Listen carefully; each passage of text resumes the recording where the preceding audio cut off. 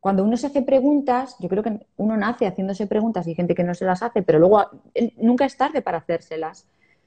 Pues entonces empiezas a abrir puertas y una puerta te lleva a otra puerta y otra puerta te lleva a otra puerta y, al final todas las puertas conducen a ti, que es lo que yo no, no entendía cuando todo lo que estaba buscando me ha llevado a mí. Lo tenía yo en mí, igual que tú en ti.